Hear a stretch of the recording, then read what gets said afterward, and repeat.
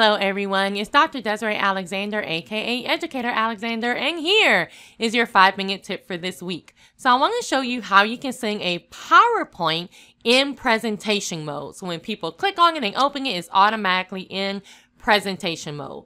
Don't forget to click the thumbs up button to like this video and subscribe to the channel. So what I'm going to do is I have my PowerPoint open and I'm just using my downloaded PowerPoint, not Office 365, but I'm going to come here to File and Save As.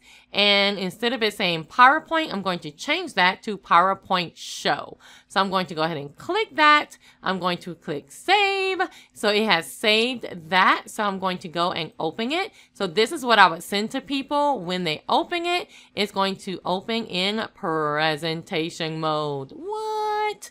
So awesome, awesome sauce. There you go. That is how you do it. And good luck.